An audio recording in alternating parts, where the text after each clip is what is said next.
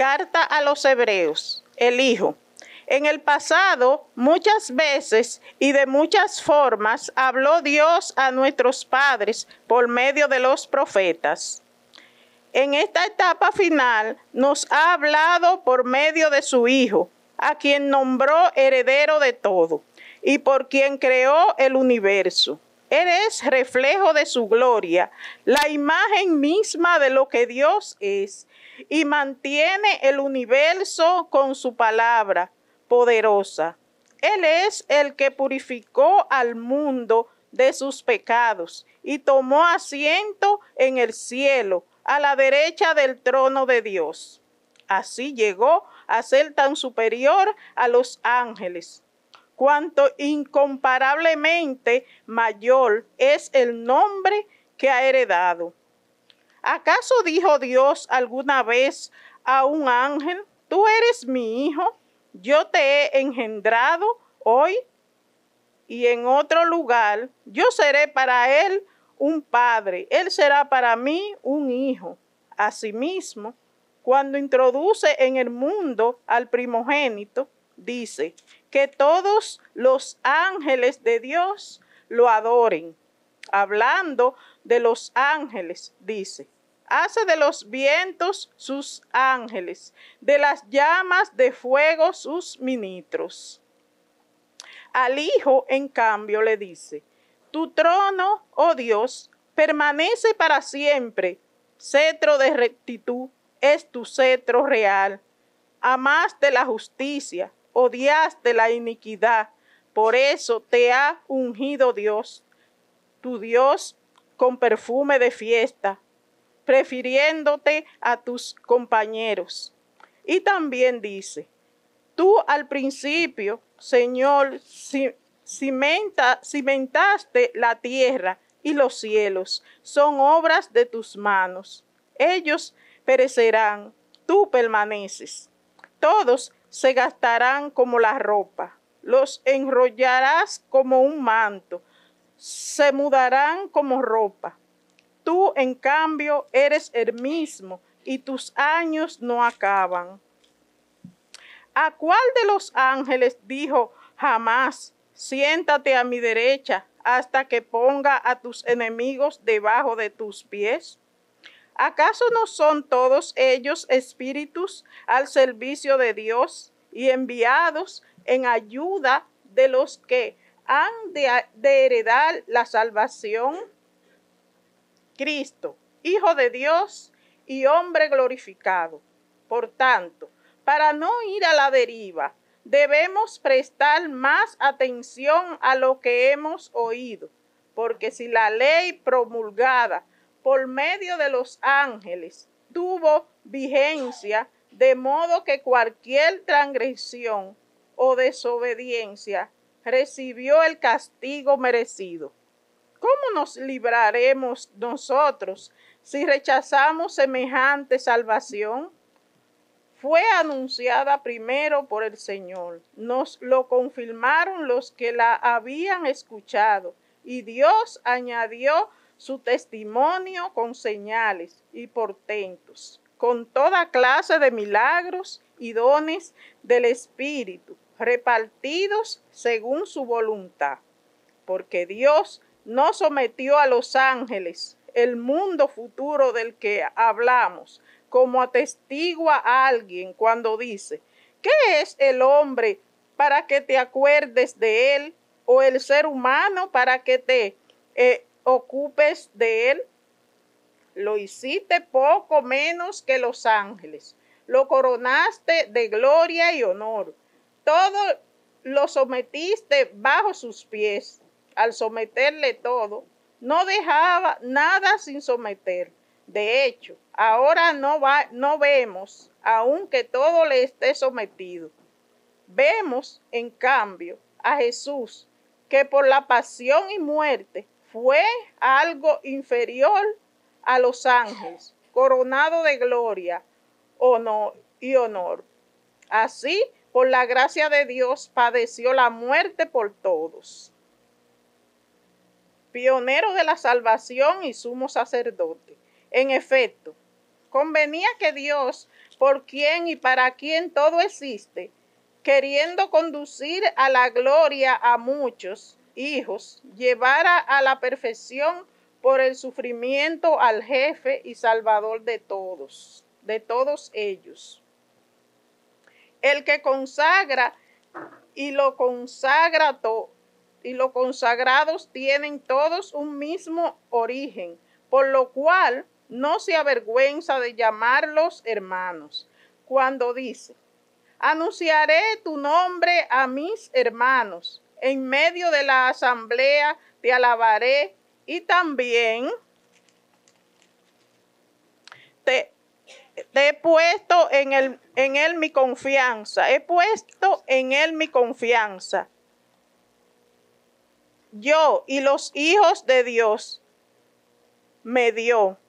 Así, mi, así como los hijos de una familia tienen una misma carne y sangre, también Jesús participó de esa condición para anular con su muerte al que controlaba la muerte, es decir, al diablo, y para liberar a los que por miedo a la muerte pasan la vida como esclavos. Está claro que no vino en auxilio de los ángeles, sino de los descendientes de Abraham. Por eso tenía que ser en todo semejante a sus hermanos, para poder ser un sumo sacerdote compasivo y fiel en el servicio de Dios, para expiar los pecados del pueblo. Como él mismo sufrió la prueba, puede ayudar a los que son probados. Jesús y Moisés. Por tanto, hermanos, ustedes han sido consagrados y participan de una misma vocación celestial. Piensen en Jesús, el apóstol y sumo sacerdote de nuestra confesión. Él es fiel ante Dios que lo nombró para este servicio, como lo fue Moisés en todos los de su casa más digno de gloria que Moisés, como es más estimado el constructor de la casa. Toda casa es construida por alguien, por el constructor de todo, es Dios. Entre todos los de su casa, Moisés era un servidor fiel para garantizar lo que Dios iba a decir. Cristo, en cambio, como hijo está a cargo de la casa y esa casa somos nosotros si mantenemos la confianza y nos gloriamos de la esperanza. El hoy de Dios. En consecuencia, como dice el Espíritu Santo, si hoy escuchan su voz, no endurezcan el corazón como cuando lo irritaron el día de la prueba en el desierto cuando sus padres me pusieron a prueba y me tentaron, aunque habían visto mis acciones durante 40 años. Por eso me indigné contra aquella generación y dije, su mente siempre se extravía y no reconoce mis caminos. Por eso, airado, juré, no entrarán en mi descanso. Cuidado, hermanos, que ninguno de ustedes tengan un corazón perverso e incrédulo que lo haga desertar del Dios vivo. Antes bien, arímese unos a otros cada día, mientras dura este hoy, para que nadie se endurezca seducido por el pecado. Porque si mantenemos firme hasta el fin nuestra posición del principio, seremos compañeros de Cristo. Cuando dice, si hoy escuchan su voz, no endurezcan el corazón como cuando lo irritaron. ¿Quiénes, aunque oyeron, lo irritaron? Ciertamente, todos los que salieron de Egipto guiados por Moisés. ¿Con quiénes eh, se indignó durante 40 años? Ciertamente con los pecadores cuyos cadáveres cayeron en el desierto, a quienes juró que no entrarían en su descanso, ciertamente a los rebeldes. Y así vemos que por su incredulidad no pudieron entrar. El descanso. Mientras se mantiene en pie la promesa de entrar en el descanso de Dios, debemos tener cuidado para que ninguno de ustedes quede excluido, porque también a nosotros como a ellos nos anunciaron la buena noticia, pero el mensaje que ellos oyeron no les valió porque no se unieron por la fe con aquellos que la aceptaron. Nosotros, en cambio, los que hemos creído, entraremos en ese descanso, como queda dicho, juré airado que no entrarán en mi descanso.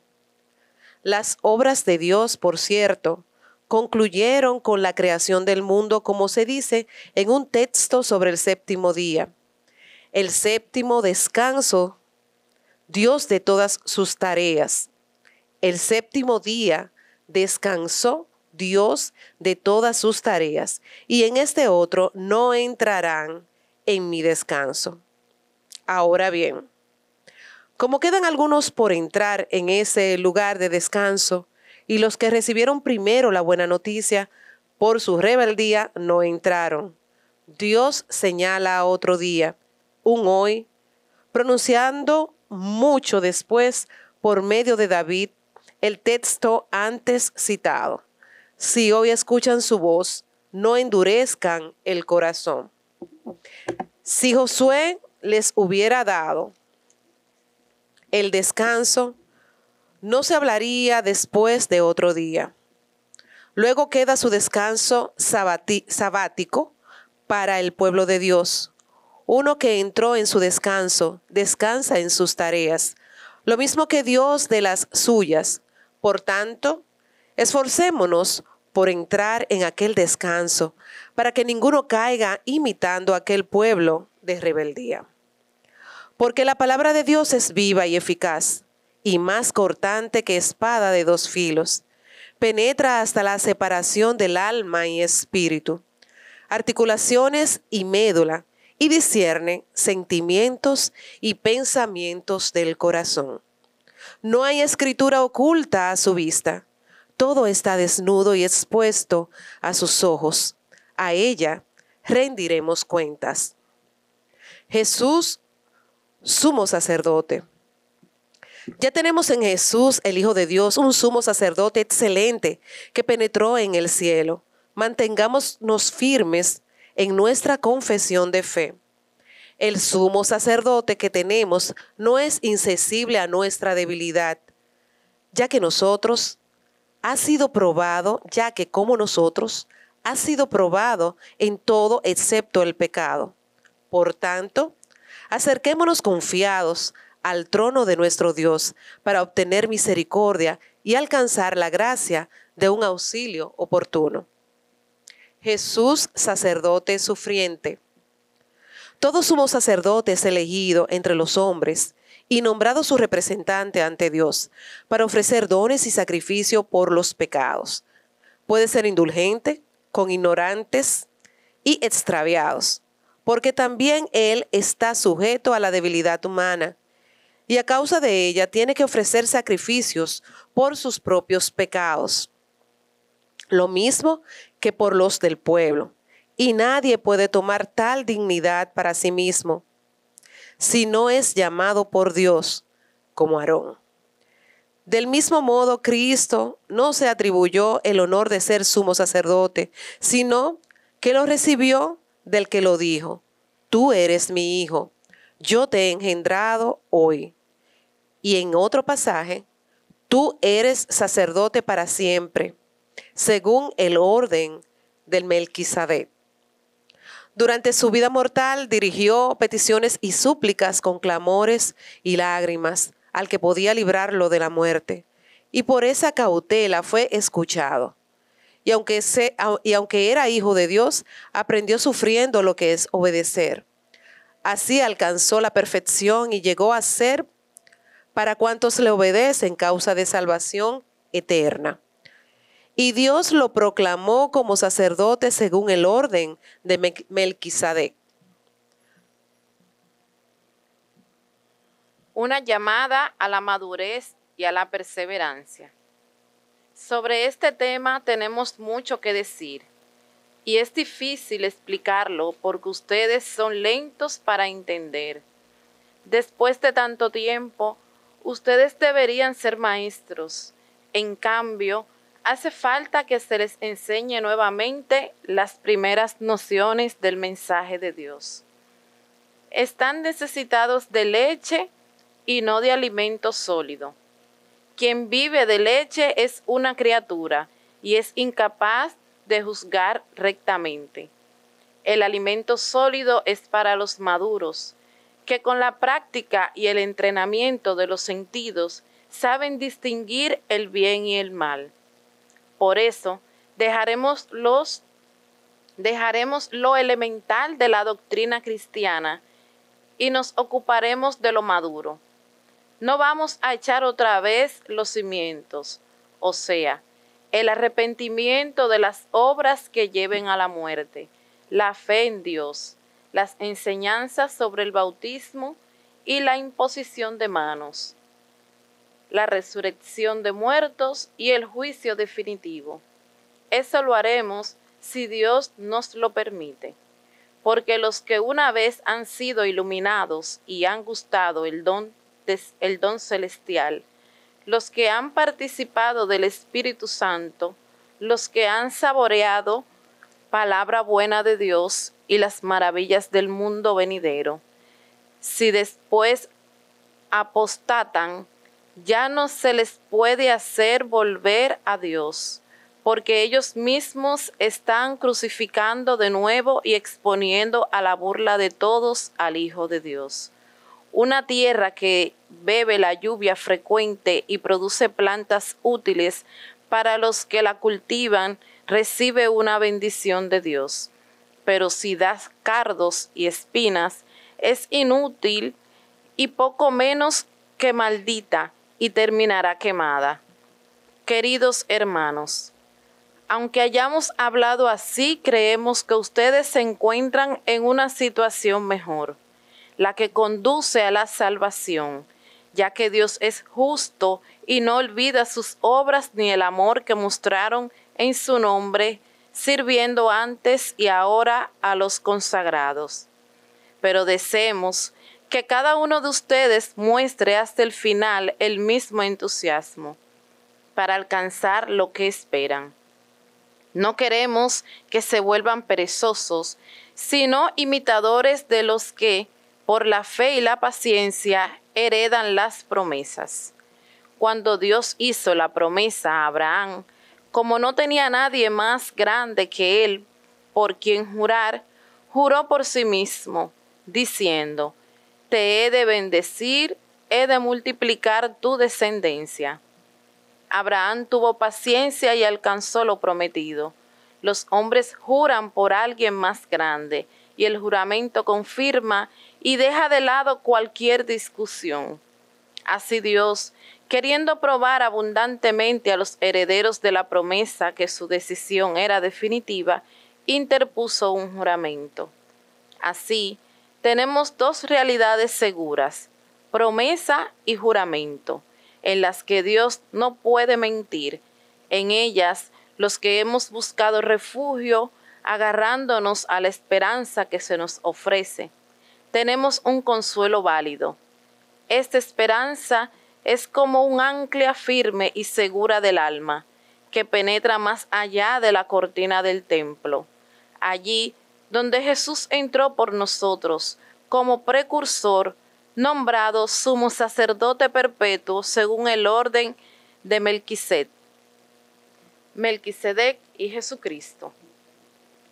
Este Melquisedec, que era rey de Salem, sacerdote del Dios Altísimo, salió al encuentro de Abraham cuando volvía de derrotar a los reyes y lo bendijo. Y Abraham le dio un décimo de todo el botín. El nombre de Melquisedec quiere decir en primer lugar rey de justicia, después rey de Salem, que significa rey de paz. Figuras sin padre ni madre, sin genealogía, sin principio ni fin de su vida. Y así, a semejanza de su hijo, del Hijo de Dios, sigue siendo sacerdote por siempre. Fíjense ahora lo importante que sería que el patriarca Abraham le dio un décimo del botín. Los descendientes de Leví que reciben el sacerdocio tienen orden de cobrar legalmente diezmos al pueblo, es decir, a sus hermanos, que descienden también de Abraham. En cambio, Melquisedec no era descendiente de Leví, cobra diezmos a Abraham y bendice al titular de la promesa. Nadie duda que al menor que el menor es bendecido por el mayor. Además, los hijos de Leví que reciben diezmos son hombres que han de morir. En cambio, en el caso de Melquiset, es uno de quien se declara que vive. Por decirlo así, el mismo Leví, el que cobra diezmos, pagó los suyos a Melquisedec, en la persona de Abraham, porque en cierto sentido ya estaba en las entrañas de su antepasado Abraham, cuando le salió el encuentro de Melquisedec. Ahora bien, si por el sacerdocio levítico se podía alcanzar la perfección, ya que por su mediación el pueblo recibía la ley. ¿Qué falta hacía nombrar otro sacerdote en la línea de Melquisedec y no en la línea de Aarón? Porque en cambio de sacerdocio significa necesariamente un cambio de ley. Jesús, de quien se habla aquí, pertenece a otra tribu, de la cual nadie ha oficiado en el altar. Es sabido que nuestro Señor procede de Judá una tribu que no menciona a Moisés cuando habla de sacerdotes. Y resulta aún más claro, ya que este nuevo sacerdote es nombrado a semejanza de Melquisedec y recibe el título no en virtud de una ley de sucesión carnal, sino por la fuerza de una vida indestructible. De él han declarado, Tú eres sacerdote para siempre según el orden de Melquisedec. De este modo, queda cancelado el mandato anterior por inútil e ineficaz, porque la ley no llevó a la perfección. En cambio, ahora se introduce una esperanza más valiosa, por la cual nos acercamos a Dios. Además, esto ha sido confirmado con un juramento mientras los descendientes de Leví recibían el sacerdocio sin juramento. Jesús lo recibe con el juramento del que le dijo, lo han jurado el Señor y no se vuelve atrás. Tú eres sacerdote para siempre. Por lo tanto, es más valiosa la alianza que Jesús garantiza. Aquellos sacerdotes eran numerosos porque la muerte le impedía continuar este, en cambio, como permanece siempre, tiene un sacerdocio que no pasa. Así puede salvar plenamente a los que por su medio acuden a Dios, ya que vive siempre para interceder por ellos. Él es el sumo sacerdote que necesitábamos, santo, inocente sin mancha, apartado de los pecadores ensalzado sobre el cielo.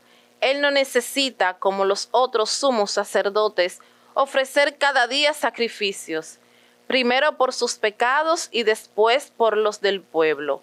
Esto lo hizo de una vez para siempre, ofreciéndose a sí mismo. La ley nombra sumos sacerdotes a hombres débiles, pero el juramento de Dios, que fue hecho después de la ley, nombra un hijo que llegó a ser perfecto para siempre. La nueva alianza. Llegó al punto central de mi exposición. Tenemos un sumo sacerdote que tomó asiento en el cielo y a la derecha del trono de Dios. Él es el ministro del santuario de la verdadera morada construida por el Señor y por hombres. Todo sumo sacerdote es nombrado para ofrecer dones y sacrificios. Luego también, este, este necesitaba algo que ofrecer.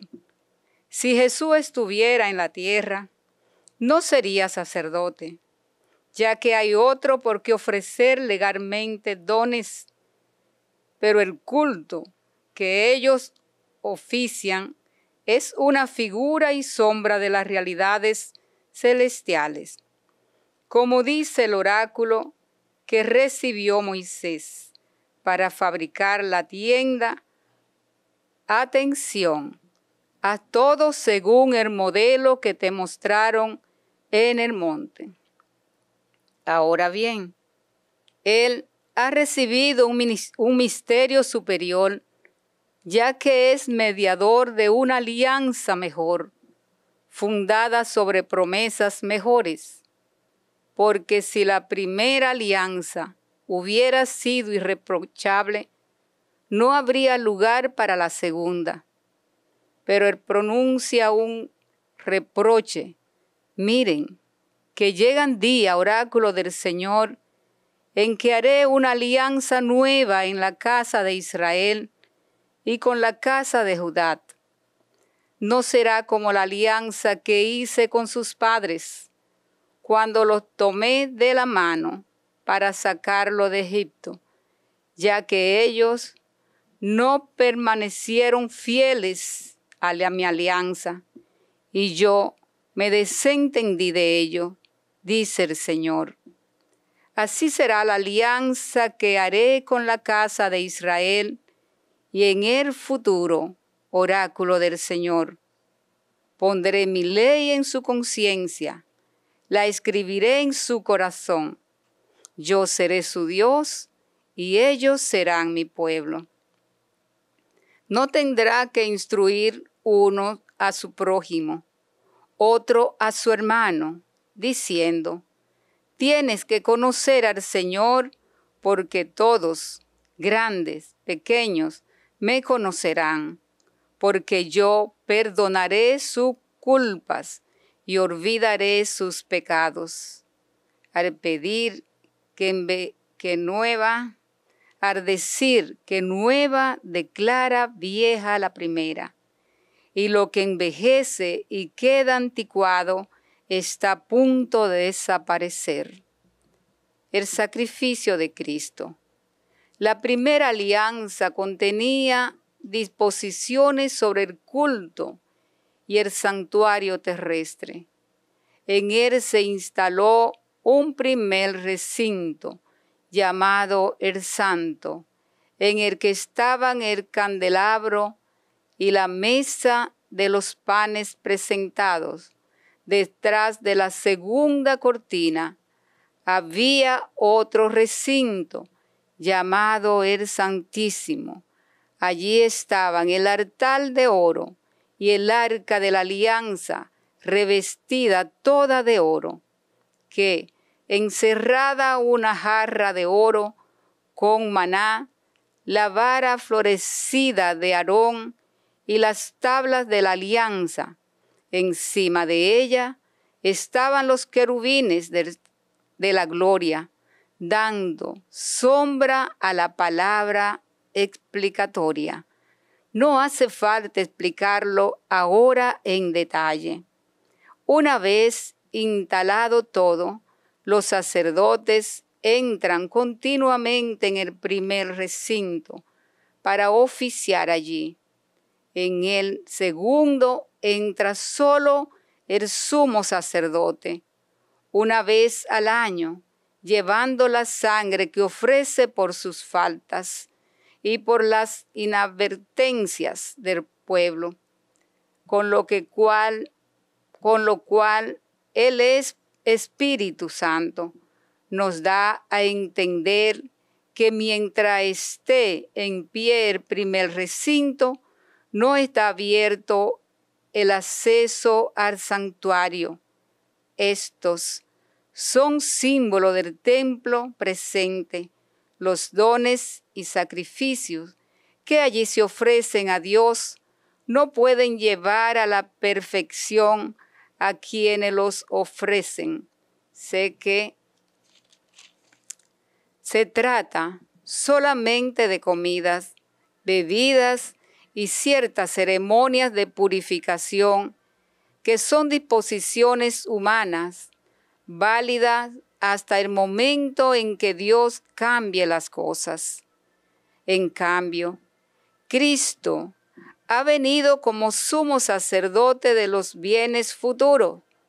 Él, a través de una morada mejor y más perfecta, no hecha a mano, es decir, no de este modo creado, llevando no sangre de cabra y becerros, sino su propia sangre.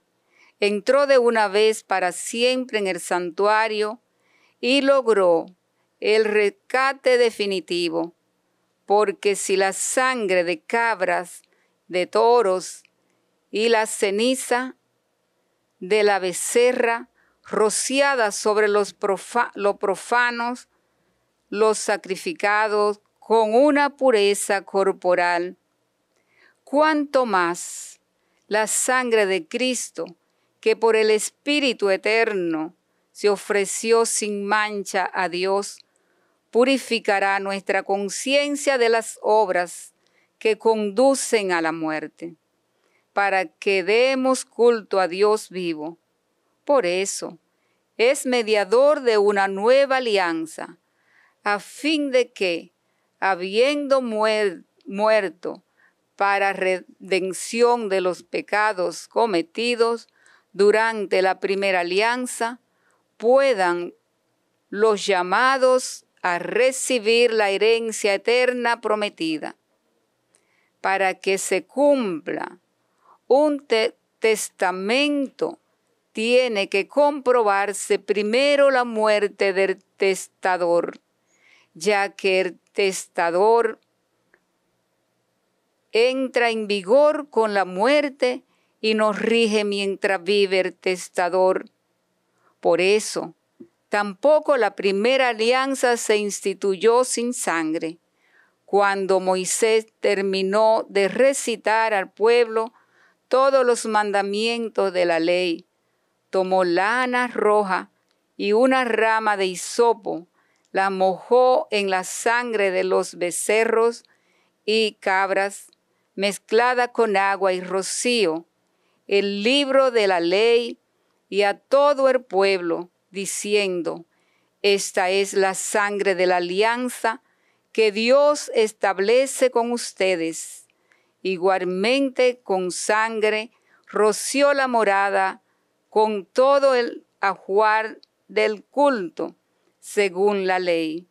Así, todo se purifica con sangre, y sin derramar sangre no hay perdón. El santuario. De manera que, si era necesario purificar las cosas que no son más que símbolos de las realidades divinas, es esta misma realidad divina, necesitan sacrificios superiores. Ahora bien, Cristo entró no en un santuario hecho por los hombres, copia del auténtico, sino en el cielo mismo, y ahora se presenta ante Dios a favor nuestro. No es que tenga que ofrecerse repetidas veces como el sumo sacerdote que entra todos los años en el santuario con sangre ajena. Ahora en cambio, al final de los tiempos, ha aparecido para destruir de una sola vez con su sacrificio los pecados. Y así como el destino de los hombres es morir una vez y después ser juzgado, así también Cristo se ofreció una vez para quitar los pecados de todo y aparecerá por segunda vez, ya no en relación con el pecado, sino para salvar a los que lo esperan. La ley es sombra de los bienes futuros, no su presencia verdadera. Con los mismos sacrificios ofrecidos periódicamente. Cada año la ley, cada año la ley.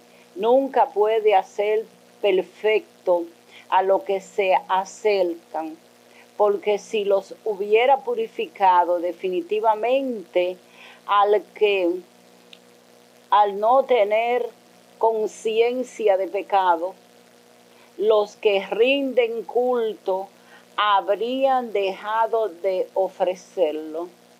Por el contrario, estos sacrificios sirven para hacerles recoger sus pecados cada año, ya que la sangre de toro y de cabra no puede perdonar pecado.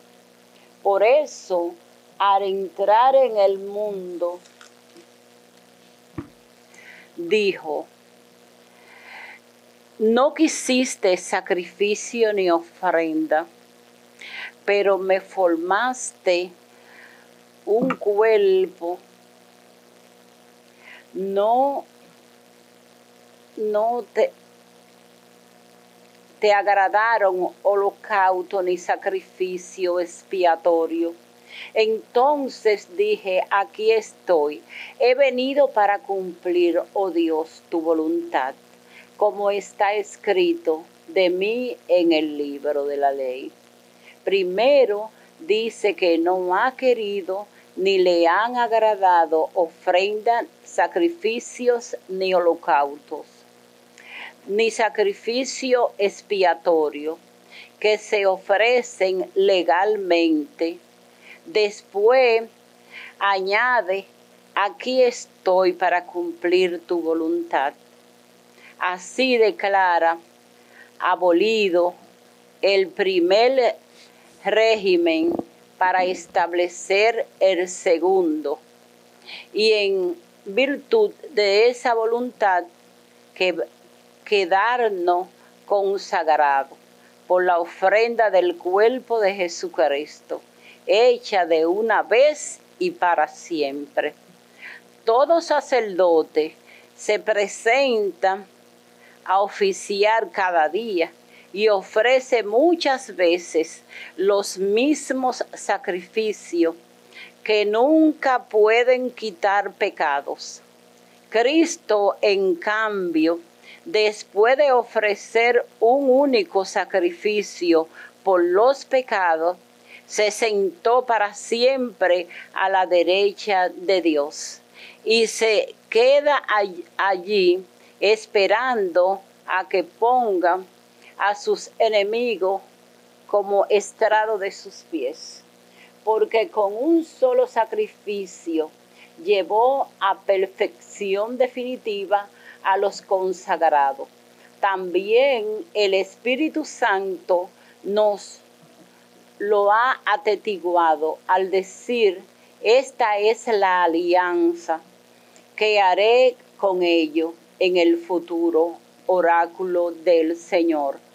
Pondré mis leyes en su corazón y la escribiré en su conciencia me olvidaré de sus pecados y delitos. Ahora bien, si son perdonados, ya no hace falta ofrenda por el, por el pecado. Por, por la sangre de Jesús, hermanos, tenemos libre acceso al santuario por el camino nuevo y vivo que inauguró para nosotros a través del velo del templo.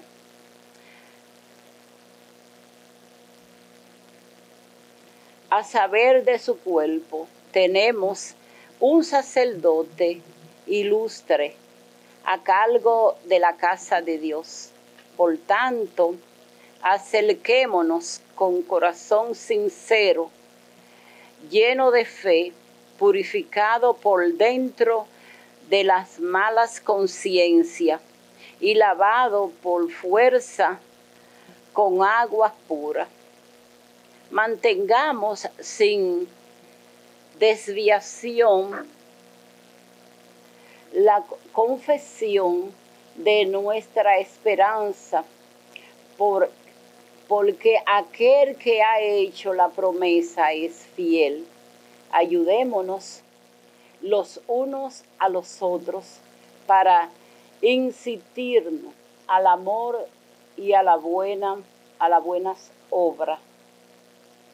No faltemos a las reuniones como hacen algunos, antes bien animémonos los unos a los otros, o sea, mutuamente, tanto más cuando que vemos acercarse el día del Señor.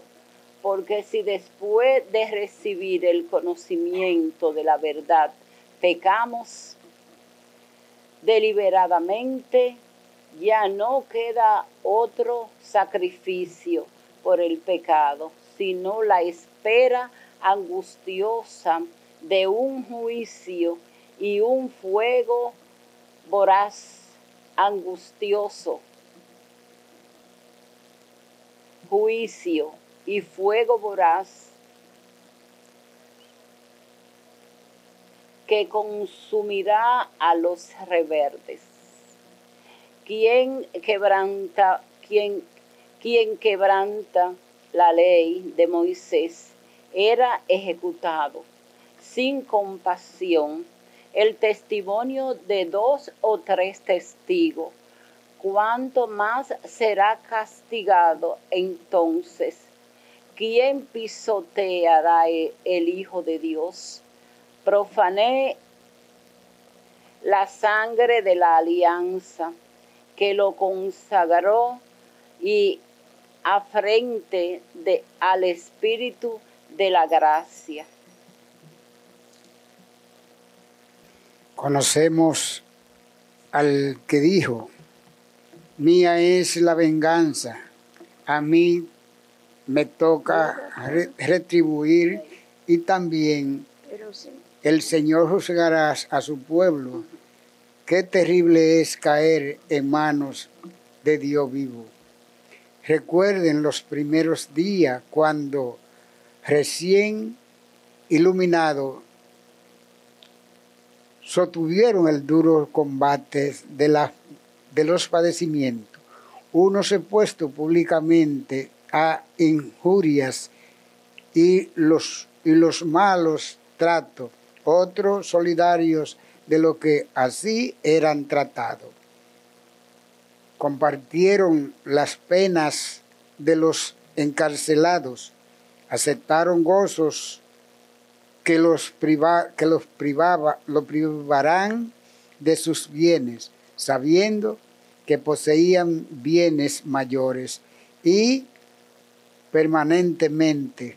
Por tanto, no pierdan la confianza que ella les traerá una gran recompensa. A ustedes le hace falta paciencia para cumplir la voluntad de Dios y obtener los prometidos. Todavía un poco, muy poco, y el que ha de venir vendrá sin tardanza. Mi, mi justos vivirá por la fe, pero si se echa atrás, no me agradará. Nosotros no pereceremos por echarnos atrás, sino que salvaremos nuestra vida por la fe. La fe, esperanza. La fe es la garantía de lo que se espera, la prueba de lo que no se ve. Por ellas nuestros antepasados fueron considerados dignos de aprobación. Por la fe comprenderemos que el mundo fue formado por la palabra de Dios. Los visibles a partir de los invisibles. Por la fe, Abel ofreció a Dios un sacrificio mejor que el de Caín. Por ella los declararon justos y Dios aprobó sus dos sus dones. Por ellas, aunque muerto, sigue hablando. Por la fe, no fue trasladado sin pasar por la muerte y no los encontraron porque Dios se lo había llevado. Y recibió testimonio que antes del traslado había agradados a Dios. Sin fe es imposible agradarle. Quien se acerca a Dios ha de creer que existe y que recompensas a lo que lo buscan. Por la fe recibió Noé aviso de lo que aún no veía y cautelosos construyó un arca para que se salvase sus familias. La fe no es la fe de Noé condenó al mundo y él, y él alcanzó la justicia que da fe. Por la fe obedeció Abraham a las llamadas de salir de Asia, el país que había de recibir en herencia, y salió sin saber dónde iba. Por, por fe se trasladó como forateros al país que le habían prometido y habitó en tiendas de campaña con Isaac y Jacob herederos de la misma promesa, porque, porque esperaba la ciudad construida sobre cimientos cuyos arquitecto y constructor es Dios. Por fe también Sara, aún pasada la edad, recibió vigor para concebir, porque pensó que era fiel el que los prometía. Así, de unos solos y ya cercanos a la muerte, nació una multitud como las estrellas del cielo y como las arenas y como las arenas incontables de las playas. Con esa fe murieron todos esos sin haber recibido lo prometido aún aunque viéndolo y saludándolo de lejos y confesándose peregrinos y forateros en la tierra. Quienes así razonan demuestran que están buscando una patria, una patria, pero si hubieran sentido nostalgia de lo que abandonaron podrían haber vuelto allá. Por el contrario, aspiraban a una mejor, es decir, a la patria celestial. Por eso Dios no tiene reparo en llamarse su Dios, porque les ha porque le había preparado una ciudad. Por fe Abraham, cuando Dios lo puso a prueba, tomó a Isaac para ofrecérselo en sacrificio. Ofreció su hijo único, el que era la garantía de las promesas. Eso que le había dicho, Isaac, continuará tu descendencia.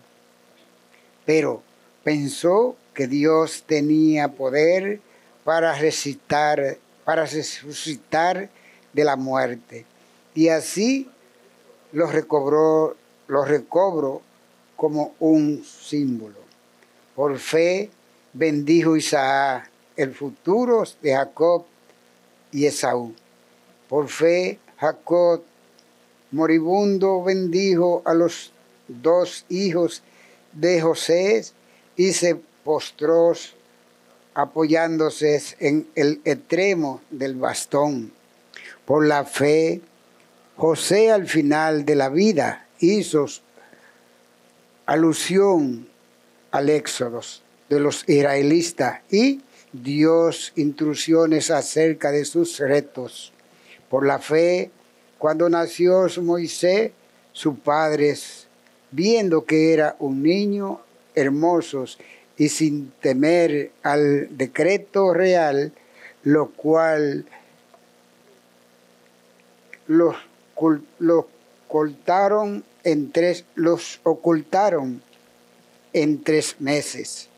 Por fe, Moisés ya creció, renunció al título de hijo de la hija de Faraón y antes que él disfrute pasajeros del pecado, prefirió ser maltratados con el pueblo de Dios, pensando que la humillación de Cristo valía más que los tesoros de Egipto, ya que tenía puesto los ojos en la recompensa que Dios le habría de dar. Por fe abandonó Egipto sin temer la cólera del rey, porque se aferraba a los invisibles como si fuera visible. Por fe celebró Pascua y roció con sangre para que el destructor no tocara a sus primogénitos. Por fe, los israelitas atravesaron el Mar Rojo como por tierra firme, mientras que los egipcios, al intentarlo, se ahogaron. Por fe, la muralla de Jericó, tras ser rodeadas durante siete días, se derrumbó. Por fe, la prostituta Rajá acogió amistosamente a los espías y no pereció con los rebeldes. ¿A qué seguir? Me falta tiempo para contar la historia de Gedeón, Bará, Sansón, Gt, David y Samuel y los profetas, los cuales por fe conquistaron reinos, administraron justicia, vieron cumplidas las promesas, cerraron la boca a los leones, extinguieron el ardor del fuego, evitaron el filo de la espada, se restablecieron de la enfermedad, fueron valerosos en la guerra, rechazaron ejércitos extranjeros. Algunas mujeres recobraron resucitados a sus maridos, otros torturados rehusaron librarse, prefiriendo una resurrección de más valor. Otros sufrieron las pruebas de burlas y azotes, de cadenas y cárcel. Fueron apedreados, destrozados, pasados a cuchillo. Vagaban cubiertos con pieles de cabras y ovejas, necesitados, atribulados, maltratados. El mundo no era digno de ellos. Vagaban por desiertos, montañas, grutas y cavernas. Ninguno de ellos, aunque fueron aprobados por la fe que tenían, alcanzó lo prometido, porque Dios nos reserva un plan mejor, que aquellos no cumplirán su destino sin nosotros. Jesús, el testigo supremo de la fe. Por lo tanto, nosotros, rodeados de una nube tan densa de testigos, desprendámonos de cualquier carga y del pecado que nos acorrala. Corramos con constancia la carrera que nos espera. Fijos los ojos en el que inició y consumió, consumó la fe en Jesús, el cual por la dicha de la, de la dicha que le esperaba, sufrió la cruz, despreció la humillación y se ha sentado a la derecha del trono de Dios. Piensen en aquel que soportó tal oposición por parte de los pecadores y no se desalentarán, todavía no han tenido que resistir hasta derramar la sangre en su lucha contra el pecado. Dios, educador paternal, ha olvidado ya la exhortación que Dios le dirige como a hijos. Hijos míos, no desprecie la corrección del Señor, ni te desanimes si te reprende, porque el Señor corrige a quien ama y azota a los hijos que conoce. Aguanten. Es por su educación que Dios lo trata como a hijos. ¿Hay algún hijo a quien su padre no castigue? Si no los castigan como a los demás, es que son bastadores y, y no hijos. Más aún, a nuestro Padre corporales que nos castigaban, los respetábamos no habrá más razones para someternos al Padre de nuestras almas y así tener vida. Aquellos nos educaban por breve tiempo, como juzgaban conveniente. Este para nuestro bien, para que participemos de su santidad. Ninguna corrección, cuando es aplicada, resulta agradable. Más bien duele, pero más tarde produce en los que fueron corregidos frutos de paz y de justicia. Por tanto, fortalezcan los brazos débiles, robustezcan las rodillas vacilantes, enderecen las sendas para sus pies, de modo que el rengo no caiga, sino que se sane. La gracia de Dios. Busquen la paz con todos y la santificación, sin la cual nadie puede ver a Dios Estén atentos para que nadie sea privado de la gracia de Dios, para que ninguna raíz amarga crezca y dañe y contagie a los demás. No haya impudicos ni profanadores como Esaú, que por una comida vendió sus derechos de primogénito. Saben que más tarde, cuando intentó recobrar la bendición testamentaria, fue descalificado y, aunque lo pidió con lágrimas, no consiguió cambiar la decisión. Ustedes no se han acercado a algo tangible. Fuego ardiente, oscuridad, tiniebla, tempestad.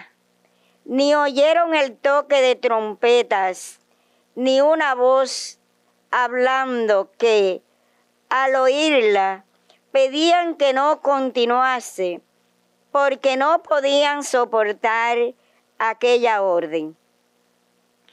El que toque el, el monte, aunque sea un animal, será apedreado. Ese espectáculo era tan terrible que Moisés comentó, estoy temblando de miedo. Ustedes, en cambio, se han acercado a Sión, monte y ciudad de Dios vivo, a la Jerusalén celeste con sus millares de ángeles, a la congregación y asamblea de los primogénitos, inscrito en el cielo, a Dios, juez de todos, a los espíritus de los justos consumados, a Jesús, mediador de la nueva alianza, a una sangre rociada que grita más fuerte que la de Abel. Atención, no rechacen al que habla, porque si aquellos, por rechazar al que pronuncia oráculo en la tierra, no escaparon, ¿cómo podremos escapar nosotros si nos apartamos del que habla desde el cielo?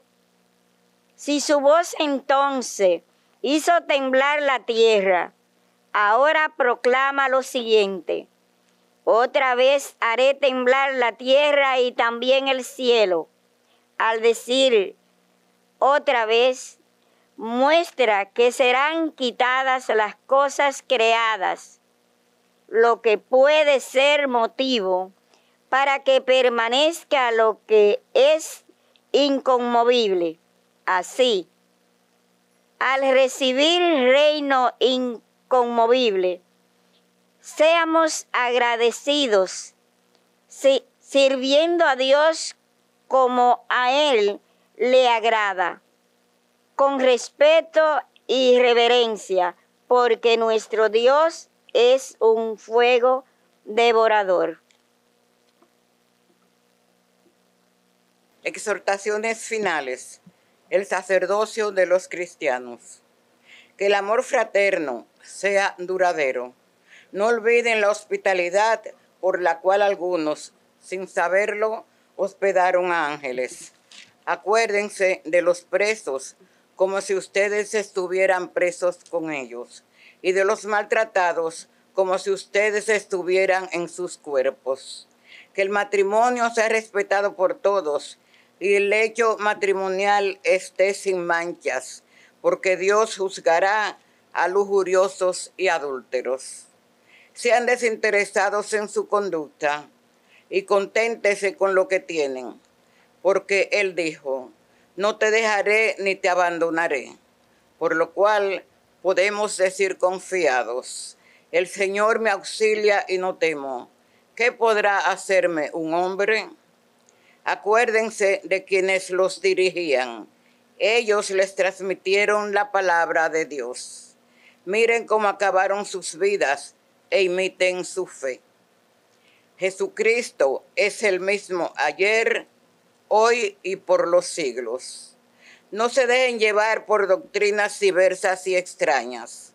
Conviene fortalecer el corazón con la gracia, no con reglas sobre alimentos que no aprovecharon a los que lo observaron.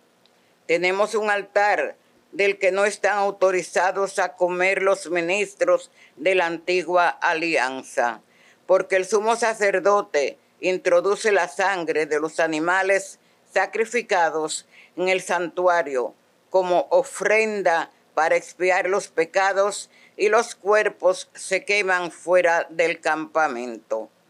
Por eso Jesús, para consagrar con su sangre al pueblo, padeció fuera de las puertas.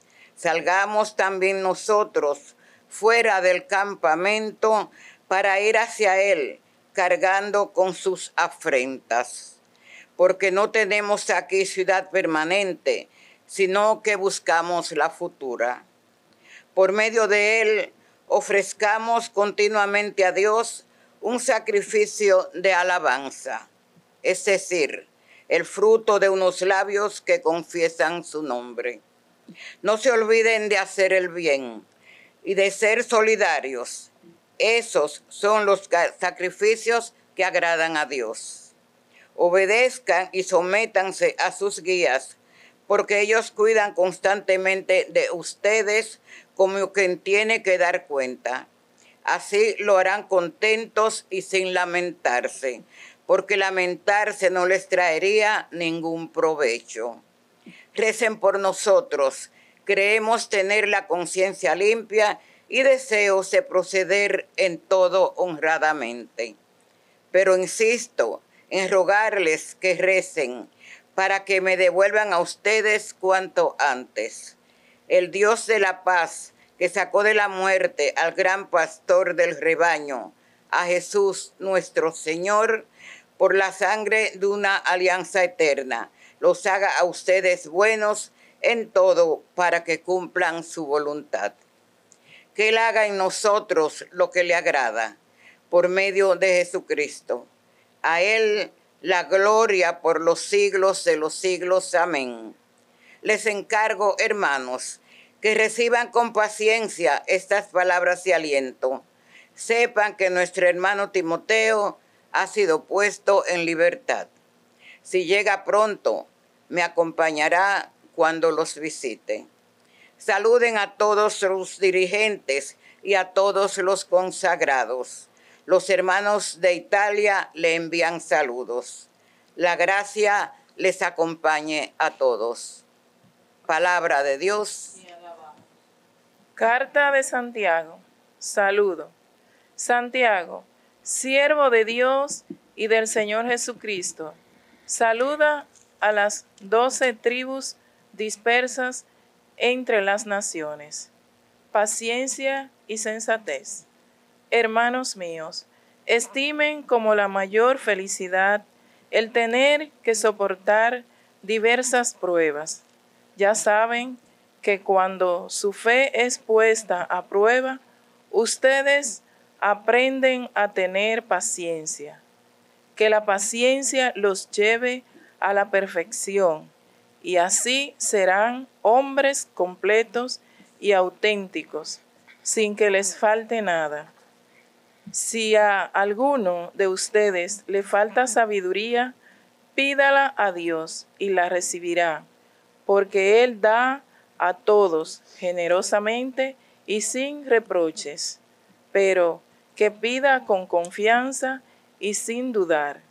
El que duda se parece al oleaje del mar, sacudido por el viento. No espere ese hombre alcanzar nada del Señor, ya que es un hombre dividido inestable en todos sus caminos, pobres y ricos. El hombre, el hermano de condición humilde, debe sentirse orgulloso si es exaltado, y el rico alegrarse cuando es humillado, porque le pasará como a la flor de un prado. Al salir el sol calienta con fuerza la hierba se seca, la flor se marchita y su belleza se pierde. Así se marchitará el rico en sus negocios. La prueba. Dichoso el hombre que soporta la prueba, porque después de haberla superado, recibirá la corona de la vida que el Señor prometió a los que lo aman. Nadie en la tentación diga que Dios lo tienta, porque Dios no es tentador por el mal y Él no tienta a ninguno. Cada uno es tentado por el propio deseo que lo arrastra y seduce.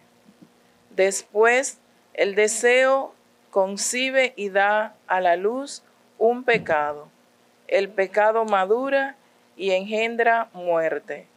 No se engañen, hermanos míos queridos.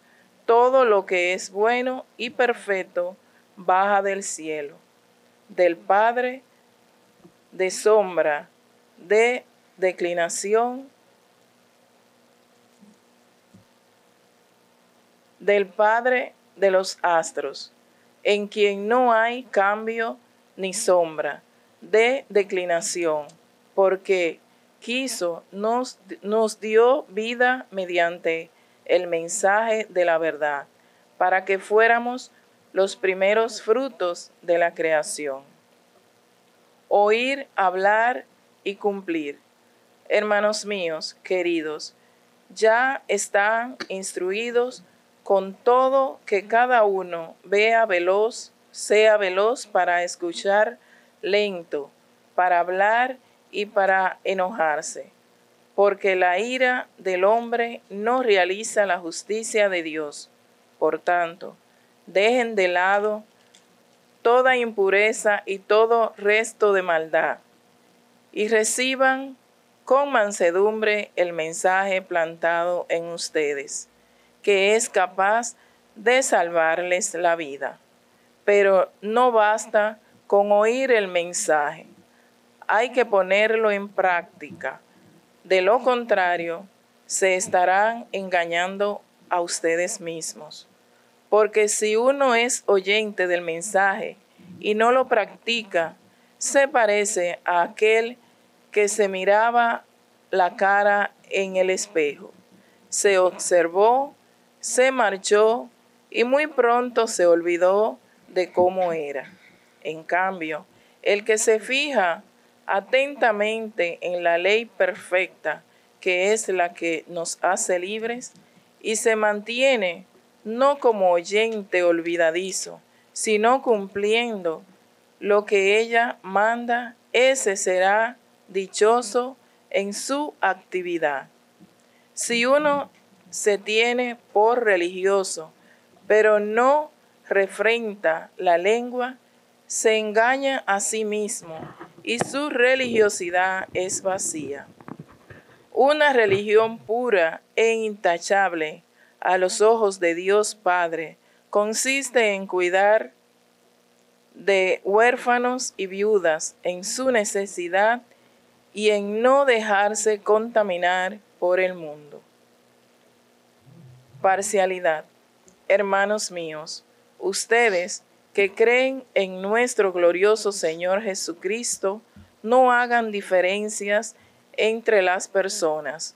Supongamos que cuando ustedes están reunidos, entra uno con anillos de oro y traje elegante, y entra también un pobre, andrajoso, y ustedes fijan la mirada en el de traje elegante, y le dicen, siéntate aquí en un buen puesto.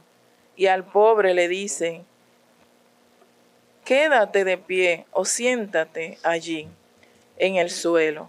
No están haciendo diferencias entre las personas y siendo jueces malintencionados. Escuchen, hermanos míos queridos, ¿acaso no escogió Dios a los pobres de este mundo para hacerlos ricos en la fe y herederos del reino que prometió a los que lo aman? Ustedes, en cambio, desprecian al pobre. ¿Acaso no son los ricos los que los oprimen y arrastran a los tribunales? ¿No son ellos quienes hablan mal del precioso nombre que fue invocado sobre ustedes? Por lo tanto, si ustedes cumplen la ley del reino, según lo escrito, amarás a tu prójimo como a ti mismo, procederán bien. Pero si hacen diferencia entre una persona y otra, cometen pecado y son culpables ante la ley de Dios. Quien cumpliendo toda la ley falla en un precepto, quebranta toda la ley. El Señor no cometerás adulterio. Dijo también, no matarás. Si tú no cometes adulterio, pero matas, has quebrantado la ley. ustedes deben hablar y actuar como quienes van a ser juzgados por la ley de los hombres libres. Será despiadado el juicio del que no tuvo misericordia, pero los misericordiosos no tienen por qué tener, temer al juicio. Fe y obras, hermanos míos, ¿de qué le sirve a uno decir que tiene fe si no tiene obras? ¿Podrá salvarlo la fe? Supongan que un hermano o hermana andan medio desnudos o sin el alimento necesario, y uno de ustedes le dice, vayan en paz, abríguense y coman todo lo que quieran, pero no les da lo que sus cuerpos necesitan. ¿De qué sirve? Lo mismo pasa con la fe que no va acompañada de obra, está muerta del todo. Uno dirá, tú tienes fe, yo tengo obras, muéstrame tu fe sin obra, y yo te mostraré por las obras mi fe. ¿Tú crees que existe Dios? Muy bien, también los demonios creen y tiemblan de miedo. ¿Quiénes comprenden hombre necio, que la fe sin obra es estéril? Nuestro padre Abraham no fue conocido justo por las obras, ofreciendo sobre el altar a su hijo Isaac. Estás viendo que la fe se demostró con hechos y por esos hechos la fe llegó a ser a su perfección y se cumplió lo que dice la escritura. Abraham creyó en Dios y esto le fue tenido en cuenta para su justificación y se le llamó amigo de Dios. Como ven, el hombre no es justificado solo por la fe, sino también por las obras. Lo mismo pasó con Rahab, la prostituta, no hizo méritos con las obras, alojando a los mensajeros y haciéndolos salir por otros caminos. Como el cuerpo sin el aliento está muerto, así está muerta la fe sin obras. La lengua. Hermanos míos, no quieran muchos ser maestros ya saben que los que enseñamos seremos juzgados más severamente. Todos fallamos muchas veces. El que no falla con la lengua es un hombre perfecto, capaz de dominar todo el cuerpo. A los caballos les ponemos un freno en la boca para que nos obedezcan, y así guiamos todo su cuerpo. Observen las naves tan grandes y arrastradas por vientos impetuosos con un timón minúsculo, las guía el piloto a donde quiere. Lo mismo la lengua. Es un miembro pequeño y se cree capaz de grandes acciones. Miren como una chispa incendia todo un bosque y la lengua es fuego.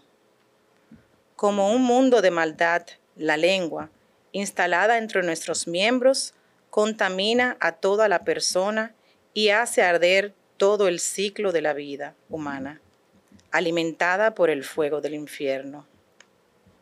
La raza humana es capaz de domar y domesticar toda clase de fieras, aves, reptiles y peces, pero nadie logra dominar la lengua. Mal infatigable lleno de veneno mortífero. Con ella bendecimos al Señor y Padre, con ella maldecimos a los hombres creados a imagen de Dios. De una misma boca salen bendición y maldición. Hermanos míos, no debe ser así. Brota de una fuente por el mismo caño agua dulce y amarga. Puede, hermanos míos, dar aceitunas la higuera e higos la vid o una fuente salada dar agua dulce? Sabiduría auténtica. ¿hay entre ustedes alguien sensato y prudente? Demuestre con su buena conducta que actúa guiado por la humildad propia de la sabiduría. Pero si ustedes dejan que la envidia los amargue y hacen las cosas por rivalidad, no se engañen ni se burlen de la verdad. Esa no es sabiduría que baja del cielo, sino terrena, animal, demoníaca. Donde hay envidia y rivalidad, allí hay desorden y toda clase de maldad. La sabiduría que procede del cielo lo es ante todo pura. Además, es pacífica y comprensiva, dócil y llena de piedad y buenos resultados, sin discriminación ni fingimiento. Los que trabajan por la paz siembran la paz y cosechan la justicia. Discordias. ¿De, ¿De dónde nacen las peleas y las guerras? Sino de los malos deseos que siempre están luchando en su interior. Ustedes quieren algo y si no lo obtienen, asesinan, envidian, y si no lo consiguen, pelean y luchan. No tienen porque no piden o si piden, no lo obtienen porque piden mal, porque lo que quiere, lo que quieren para gastarlo en sus placeres. Adúlteros, ¿no saben que ser amigo del mundo es ser enemigo de Dios?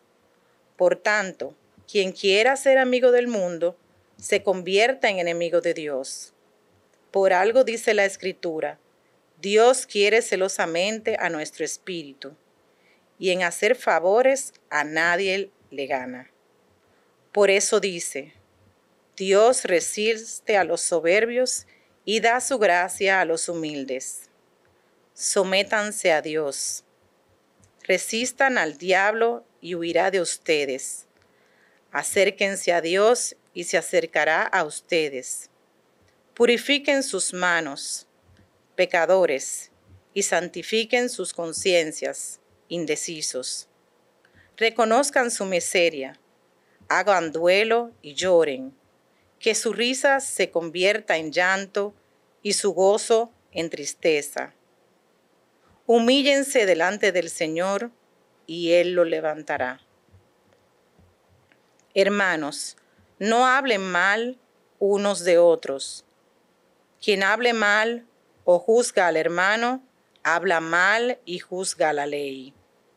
Y si juzgas a la ley, no eres cumplidor de la ley, sino su juez. Uno es el legislador y juez, con autoridad para salvar y condenar. ¿Quién eres tú para juzgar al prójimo? Ricos y satisfechos.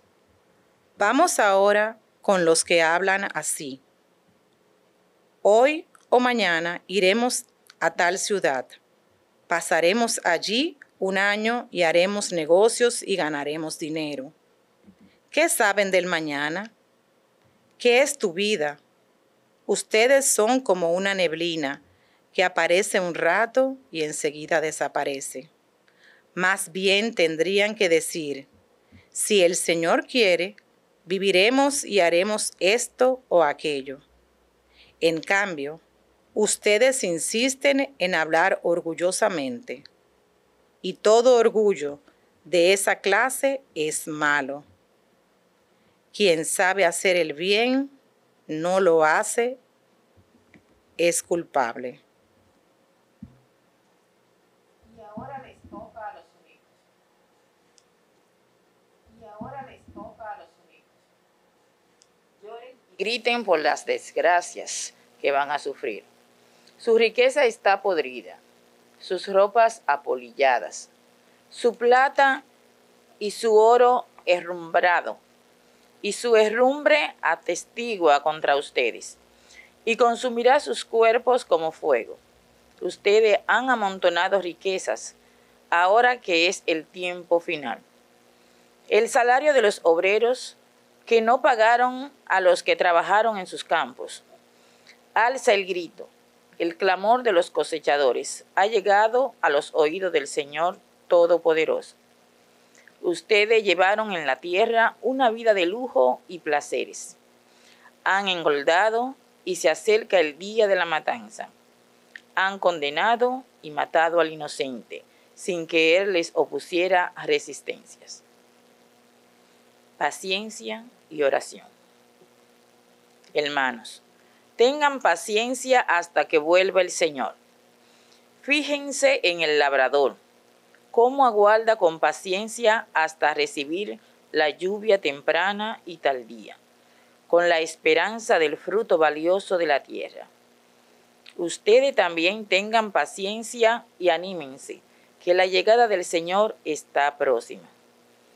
Hermanos, no se quejen unos de otros y no serán juzgados. Miren que el juez ya está a la puerta. Tomen como ejemplo de sufrimiento y paciencia a los profetas que hablaron en nombre del Señor. Miren, declaramos dichosos a los que aguantaron. Ustedes han oído contar cómo aguantó Job sus sufrimientos y conocen lo que al final el Señor hizo por él, porque el Señor es compasivo y piadoso. Ante todo, hermanos, no juren ni por el cielo, ni por la tierra, ni por ninguna otra cosa. Que el sí sea un sí y el no sea un no y así no serán condenados. El enfermo. Si alguno de ustedes sufre, que ore. Si está contento, que cante alabanzas. Si uno de ustedes cae enfermo, que llame a los ancianos de la comunidad para que recen por él y lo unjan con aceite, invocando el nombre del Señor. La oración hecha con fe sanará al enfermo y el Señor lo hará levantarse. Y si ha cometido pecados, se le perdonarán. Confiesen unos a otros sus pecados, recen unos por otros y se sanarán. Mucho puede la oración fervorosa del justo. Elías era hombre frágil como nosotros, pero rezó pidiendo que no lloviese y no llovió en la tierra tres años y seis meses. Rezó de nuevo y el cielo soltó la lluvia y la tierra dio sus frutos. Hermanos míos, si uno de ustedes se aparta de la verdad y otro lo endereza, el que convierte al pecador del mal camino salvará su vida de la muerte y obtendrá el perdón de una multitud de pecados.